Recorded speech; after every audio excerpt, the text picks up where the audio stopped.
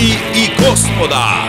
На 29 април оваа година повторно ќе се случи рок н рол експлозија низ Охридските улици. Шестиот поред Truck and Roll Фестивал за ваше одлично расположение оваа година од северните краеви на Европа, од срцето на Скандинавија. Ви доаѓаат данските рок н рол викинзи, единствените и неповторливи Blended road Така, од оваа далечна земја друштво ќе прави и одличниот рок состав Tainted Lady. Домашните бои ќе ги бранат главните виновници, иницијатори и организатори на овој настан. Охриската гласна банда рокери The Backdoor Band. Централно место на настанот Градски поштат Охрид со почеток од 18 часов. Не пропуштајте, за да не ви раскажуваат. Let's rock and roll!